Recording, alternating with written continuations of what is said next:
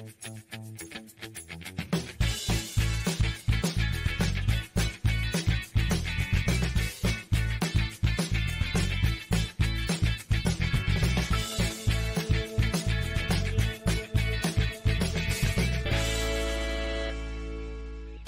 prato de hoje é um clássico norte-americano, mac and cheese, que nada mais é do que macarrão com queijo. Depois eu vou falar um pouquinho da história dele, mas vamos para os ingredientes. Vou falar primeiro do mix dos queijos que eu vou usar aqui hoje. Eu vou usar 60 gramas de três tipos de queijo, tá? A 60 gramas de cheddar ralado, 60 gramas de gorgonzola, que eu também dei uma leve picadinha, e aí sim, 50 gramas de queijo parmesão ralado grosso, tá? Então aqui estão todos eles bonitinho, raladinho, ok? Eu estou usando esse mix de queijos porque eu acho que fica mais interessante, tá? Mas tem várias receitas por aí, vocês vão ver que é outros tipos de queijo. Mas um que é essencial aqui é o cheddar, tá? Tem que estar presente. Ele vai ajudar aquela coloração do mac and cheese, tá? Um outro queijo que também é o pulo do gato na hora de gratinar é o parmesão. Eu vou usar um pouco aqui e mais uns 5, mais um, 30 gramas pra gente levar pra gratinar, tá bom? Então já anotem aí que isso é um diferencial, colocar também no molinho, tá? Outro ingrediente que a gente vai usar aqui, que é também importante frisar, né? A gente vai usar pimenta. Aí aqui a gente pode usar a pimenta que a gente gosta. Geralmente se usa a pimenta branca do reino, tá? Mas eu vou ser diferentona, o tchananã vai ser aqui. Eu vou usar pimenta síria, tá? Moída, beleza? É, a gosto. Então eu vou, provavelmente eu vou usar aqui em torno de uma colher de chá mais é, cheinha que o normal, tá? Vou usar também uma colher de mãe de manteiga. Aqui eu estou usando sem sal, mas poderia ser com sal. Não gosto muito aqui do mac and cheese usar margarina, etc. Eu gosto dar manteigona mesmo, tá bom? Duas colheres de sopa de farinha de trigo. Vou usar também é, um dente de alho picadinho. É, aqui eu tenho até um pouquinho mais, tá? Mas um dentinho já resolve. E vou usar uma colher de chá um pouquinho maiorzinha do que o normal, né? Uh, de noz moscada moída, tá bom? Vou usar duas xícaras de leite, aqui eu tô usando integral, beleza? Também vou usar 200 gramas de creme de ricota. Muitas receitas usam requeijão, que eu não gosto particularmente, porque tem muito amido ali. Eu acho que engrossa muito rápido o creme junto com o macarrão e eu não acho legal. E, e, o outro ingrediente que também pode, aí sim, substituir pelo creme de ricota é o creme de leite fresco, tá? É um outro ingrediente que muitas das vezes eu vejo lá fora. Inclusive aprendi assim lá nos Estados Unidos, tá? Usando creme de leite, é, o Ralph, né? Que eles falam lá que é um bom é, ingrediente aqui. Outro também para quem mora no sul e tem facilidade de achar é a nata, também show de bola. O creme de ricota aqui pra gente do sudeste é mais fácil de achar. Inclusive ele dá uma textura bem bacana pro mac and cheese, tá? Então esse aqui também é um pulo do gato. Pode usar a marca que vocês quiserem, beleza? 200 gramas é mais do que suficiente para essa quantidade que a gente vai fazer aqui, que dá tranquilamente para ser para quatro pessoas, tá? Que comem bem. É, agora vamos falar sobre o macarrão. Eu já deixei ele aqui, já cozido ao dente, tá, pessoal? Tem que estar ao dente. Se vocês cozinharem muito essa massa, quando ela for gratinar, ela vai esmilinguir. Não é legal. Então, tem que estar bem, é, bem ao dente mesmo. Aqui eu estou usando é, um tipo de macarrão que a gente chama de joelho, tá? Ele, eu vou mostrar pra vocês aqui mais pertinho da cama que é esse modelinho aqui, tá? Esse aqui, ó. Tô usando esse aqui. Esse aqui é mais legal.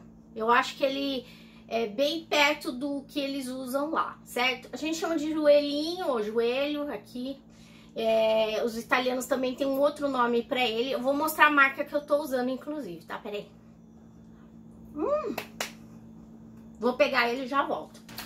Ó, pessoal, também conhecido aqui no Brasil como caracol. o joelho é mais conhecido, tá? Mas caracol, cada marca fala um nominho, né? É, macarrão de semolina. Eu tô usando essa marca aqui, que eu encontrei na minha outra viagem que eu fiz com o Under. Então, eu tô usando esse aqui. 300 gramas tem ali, tá? Já ao dente. Vou mostrar eles bem pertinho pra quando ele é cru, tá? Ele é assim, ó. Ele é bem bonitinho, inclusive. Esse aqui é o ideal pra gente fazer mac and cheese. Ah, mas eu, eu não acho esse, Elô. Posso usar o... Magnolia. Pessoal, vocês podem usar o pene, pode usar o parafuso, mas, gente, o macarrão mais próximo da receita original tem que ser esse, ou o joelho ou o caracol, tá certo? Então, pessoal, dá uma procurada com vontade, que é capaz de vocês acharem aí pertinho de vocês, beleza? Fica bem mais interessante. Então, bora começar isso? Vamos lá. Primeira coisa que a gente vai fazer aqui é o refogadinho, beleza? Então eu vou pegar a panela, já esquentar ela um pouquinho, fogo médio para baixo, assim. A gente já vai colocar essa manteiga para derreter com o alho picado, tá? Eu já vou pôr minhas especiarias, geralmente a gente coloca junto com o leite, mas eu já montei ela aqui no, no recipiente e aí vai tudo junto, não tem problema. Então vou colocar aqui, tá bom? Então tá aqui já minha noz moscada, meu alhinho picado. Ah, eu gosto de cebola, pode pôr também. Pode pôr um pouquinho, tipo um quarto da cebolinha, da cebola, de cebolinha, da cebola, pode pôr junto com alinho, tá? Alinho é vida aqui nesse preparo, beleza? Então, vou derreter bem essa minha manteiga aqui. Esperar derreter bem ela. E a gente vai colocar o trigo. E aqui na farinha de trigo, a gente vai transformar ela numa pastinha, tá? E cozinhar um pouquinho e depois vão vir com leite para dissolver bem a farinha no leite, tá? E aí vocês vão falar, isso não é o RU que você ensinou lá atrás aqui no canal, que é o famoso molho bechamel. Exatamente, essa base aí. Se vocês tiverem uma dificuldade nesse, nesse pedaço aqui da receita, voltem lá e vejam esse vídeo que eu ensino para vocês fazerem um molho bechamel, beleza? Derreteu minha manteiga, vou colocar agora minha farinha de trigo e vou transformar numa pastinha.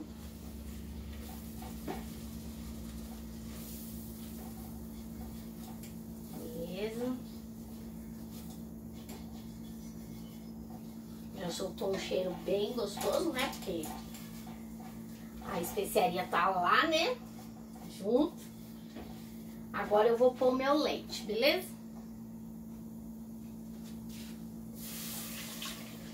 Agora a gente dissolve bem a farinha com leite. Demora um pouquinho, tenham paciência.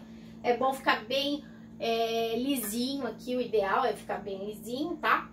Então, quando tiver bem dissolvido aqui, eu volto pra mostrar pra vocês. Enquanto tá aqui dissolvendo, a, a nossa farinha com a manteiga e o leite, já pode pré-aquecer o teu forno, tá? Porque a gente vai levar depois para gratinar. Um pouquinho mais para frente, mas ele precisa estar tá bem pré-aquecido para gratinar aqui o nosso mac and cheese, tá? Então ele leva em torno de 15 minutos o pré-aquecimento do forno. Então coloquem aí já como eu fiz com o meu aqui, beleza? Vou continuar aqui. Bom, pessoal, agora que eu já dissolvi todo o meu leitinho aqui junto com a nossa farinha e manteiga, eu vou colocar um mix é, de queijos, tá? Então, vamos lá. Vou pegar ele aqui. E a gente vai abaixar esse fogo.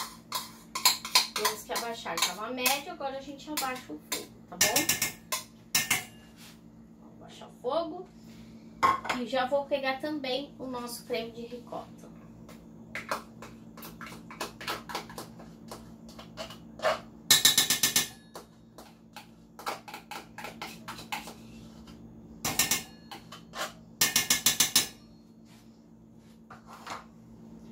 E vamos mexer aqui para ele dissolver bem. Agora que eles estão completamente derretidos, eu vou colocar um pouco da pimenta síria. E se precisar, porque eu vou provar, se precisar eu ponho um pouquinho de sal, ok? E aqui eu vou usar o sal marinho, mas vocês podem é, escolher o sal da sua preferência. Também fica interessante, antes que perguntem, é, o sal defumado, tá? Também fica bem interessante. Já fiz aqui uma vez e o Ander gostou também. Então, se vocês gostem de uma coisa mais diferente, põe um pouquinho que fica bem bacana. Agora eu vou provar para ver se precisa corrigir o sal e se precisa mais um tiquinho de pimenta, beleza? Quando tiver ok, eu volto. Bom, pessoal, agora a gente vai montar. Como é que a gente vai montar? A gente vai passar o macarrão com uma travessa que possa ir ao forno para gratinar. Eu vou usar essa aqui minha, que eu já usei algumas vezes aqui no canal, que eu adoro ela. Vou colocar macarrão aqui e o molho por cima e pôr bastante queijo. Aqui, quando eu digo bastante, para essa forma minha aqui, eu vou usar mais ou menos 30 gramas de queijo parmesão ralado grosso para gratinar, tá bom? Mas, mas, se você for dobrar essa receita, já não daria aqui nessa assadeirinha minha, tá? Na minha forminha. Teria que ser uma maior. E aí vai aumentar esse queijo parmesão aí para gratinar, beleza? Mas 30 gramas para esse tamanho aqui dá tranquilão, tá? Vou montar aqui, vocês vão vendo aí. E qualquer dúvida, né, pessoal, como vocês já sabem, podem questionar a gente aqui nos comentários, beleza? Então vamos lá.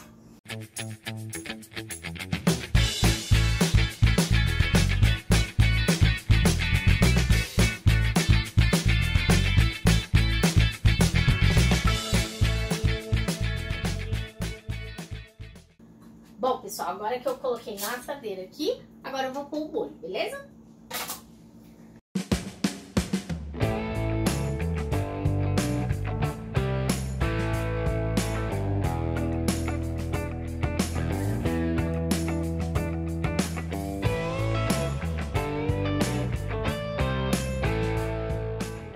Bom, pessoal, agora que eu coloquei o molho, vou pôr o queijo.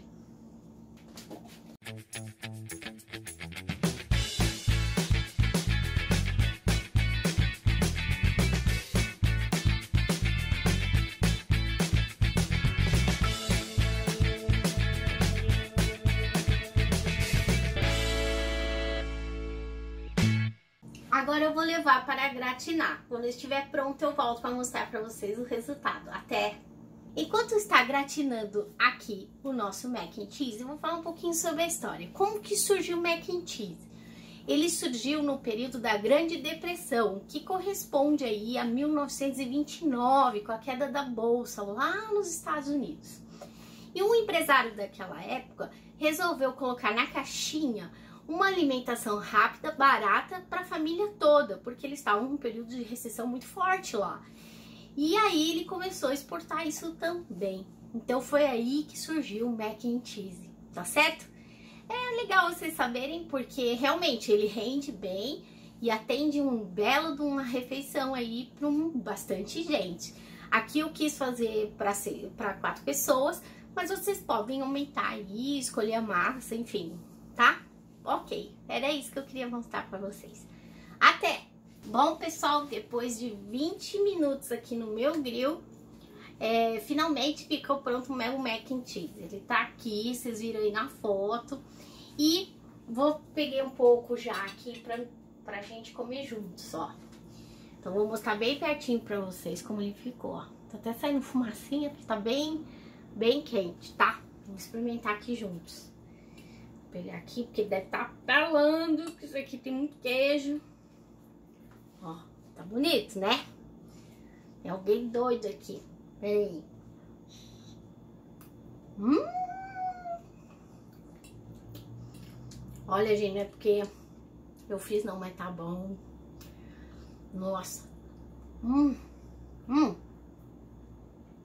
Isso aqui é bom, até frio, sabe? De tão bom que é. Espero que vocês tenham gostado do vídeo de hoje e até a próxima. Tchau, tchau, pessoal! Thank you.